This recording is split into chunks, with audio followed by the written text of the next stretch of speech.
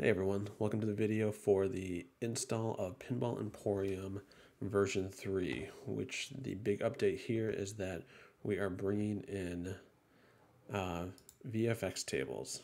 So let's take a look at the README really quick. If you have the, any questions or want to join our Pinball Throwdown uh, weekly games, head over to the Discord server. We're all hanging out there. I'm hanging out there as much as I can to answer any questions to get make sure your Pinball Emporium is uh, up and running well. Like I said, the big added update here is the Visual Pinball X tables. We added 97 tables, which are just uh, great tables to take a look at, and you know are probably the best tables that are out there right now that are available to anyone for free. Um, the other big addition here is that we've completely revamped our media for the front end UI. We created all new videos uh, for the background tables. Uh, Elgato 5 helped me out a lot with this by doing 100 of those for me, a little more than that actually. So make sure you give him a shout out on the Discord because he really took off took that weight off.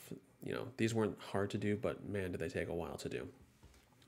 The other thing that you're going to see shortly is that we did a simplified install, which really kind of streamlines the install Pinball Emporium and hopefully makes it very, you know, you're not going to install things in the wrong area. It's kind of very manually before, and we've kind of taken that out of it. And then finally, the other one is that we've uh, changed the cabinet desktop files on depending on how you're playing. This version has a big uh, push on using a second display for backglass, so we've kind of taken uh, uh, that into consideration when making these files. So let's jump into the install.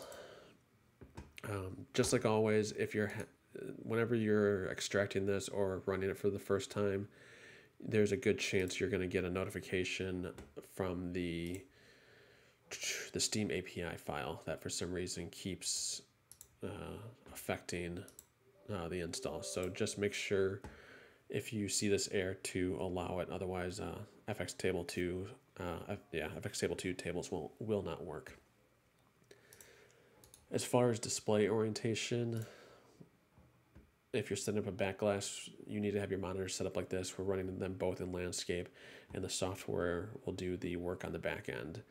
Make sure that your scale is set to 100% for both of these. My default for number two was actually 150, so that was something I had to change. And if you are running cabinet mode and your playfield is upside down, the way you're going to fix it is by this display orientation. You're going to change this from landscape to landscape flipped. And that will rotate you and then all the software will work properly. All right, that's it. Let's jump into the install. So we're going to head over to the first time install folder and simply press the install bat. Really you know, watch this video, but um, all the directions are written out here. So just follow along and you should have everything to take care of. So have you downloaded, installed, and logged into Steam? I've already done this. Although this is a fresh install of Windows, I have done this video about a dozen times now. So I've installed this over and over again. So I've already done this step. So I've installed, I've logged into Steam. So click any button to continue. Have you downloaded, installed, and ran Pinball FX3? I have done that. FX3 is a free program that you can download from Steam. So just uh, get that installed and run it at least once. Once you run it, you can actually delete the program. You don't need it anymore. All right. Ready to install Future Pinball and bam, yes we are. When prompted, install it into the emulators folder. You're going to see in mine that mine is already set up like this. That's because I've installed this, like I said, almost a dozen times now. Uh, yours is going to say the program fo uh, folder, so just get that changed to the emulator folder. All right. We're going to accept. We're going to accept. Like I said, if you're following along, this probably says C program files. Make sure this is just changed to the emulator folder. So it looks something like this. Next, we're going to do a standard install. Next. Now, when I first installed this, I did get a error when I ran, uh, when I continued on to the next step. To fix that, all you need to do is later to, is to rerun the BAM install. I'm not sure why this happened, and I'm not sure why simply running it again fixed it. So, but I know it did. To do that, we're just going to go to the install assets into FP, and you're going to run the setup one more time, and then run this uh, bat file. All right, so we finished. We're to continue. Are we ready to run future pinball? Yes, we are. Once table runs, exit the table and exit future pinball. All right, I'm to turn off my audio because last time I got a takedown notice over the audio used here.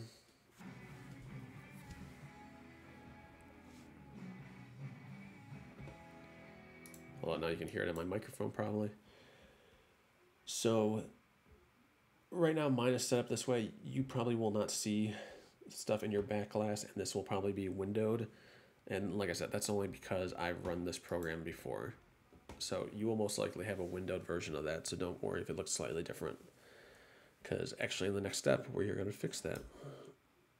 All right, we're going to do some registry edits. We're going to continue. All right, Future Pinball is done. We're ready to install Visual Pinball X. Same thing as Future Pinball, when prompted, install into the emulator folder. All right, during the install, it's going to ask you about your back glass. Click yes to set up your back glass. And also, DirectX is going to want you to install a Bing toolbar, and nobody wants that thing. So just make sure you uncheck it.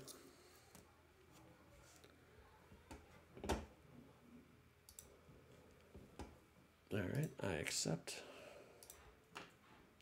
Do not install the toolbar.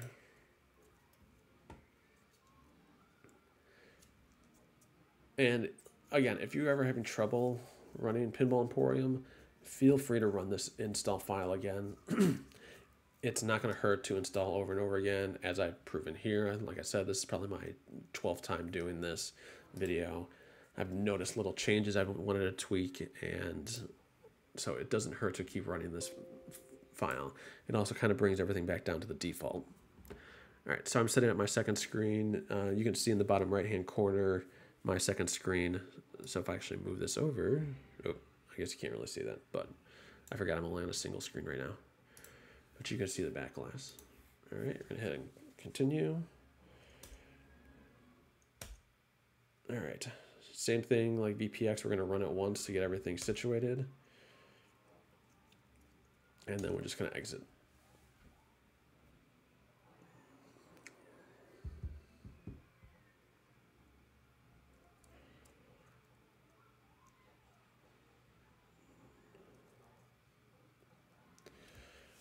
Okay, everything's running.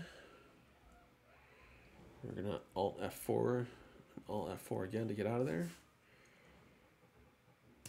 We're gonna hit continue, do some registry edits, and hit OK. That's it, we're ready to go. We're gonna head back into here, we're gonna set up our display mode. Now I run in cabinet, but for here, I'm gonna show you guys uh, it in desktop mode just because that looks a little bit better on YouTube.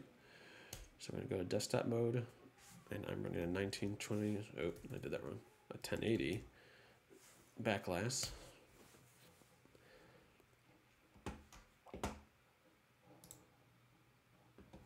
All right, and now we're ready to run Pinball Emporium for the first time.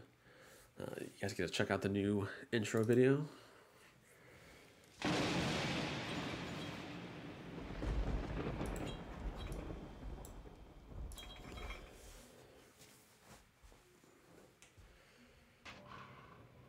And there we go. So we have all our tables. We have favorites. If you want to add favorites, you're going to see my favorites in here. Just ones I've done so far. Uh, using the C and D control, uh, we will be able to add and remove favorites. Actually, before we go any further, I want to remind people about JoyToKey. So I'm going to activate JoyToKey right now.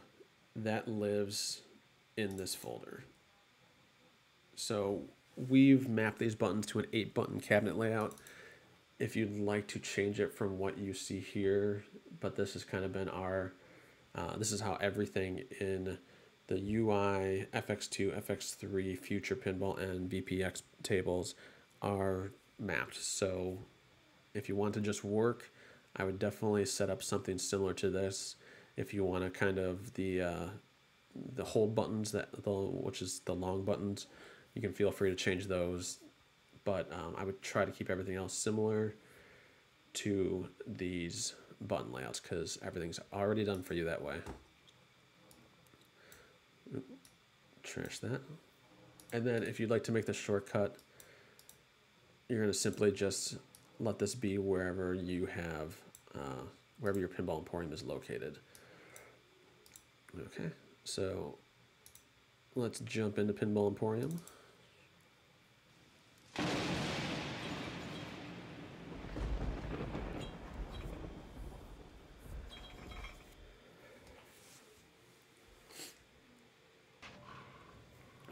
All tables, our favorites. I combined FX2 and 3 because there was only, I think, 12 missing tables from FX3 in there, so those are now in here. Our future pinball tables. come on, you can go.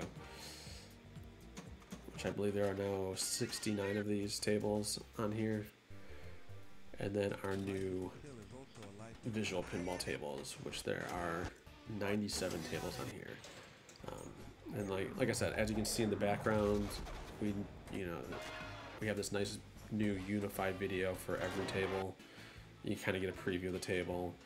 This obviously looks a little bit better when you're in a cabinet mode because it's kind of you know in the same placement as how you would be playing. So, but we have a lot of great tables on here. Definitely check them out. So you know, as we jump in here, here, let's go over to, you know, Beverly Hills Cop.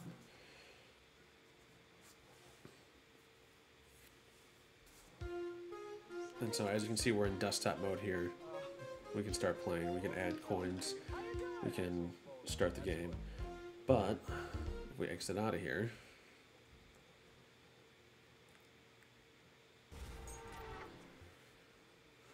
head into the, our display mode. We're now in a cabinet with a 1080 back glass. And now when we head back in here, see we got a different video made for the cabinet mode.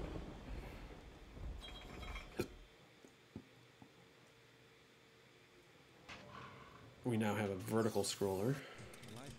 So if I head over there, then let's go back into Beverly Hills Cop.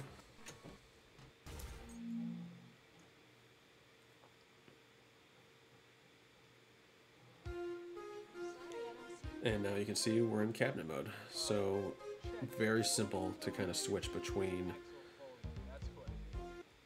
cabinet and desktop and your different size back glass.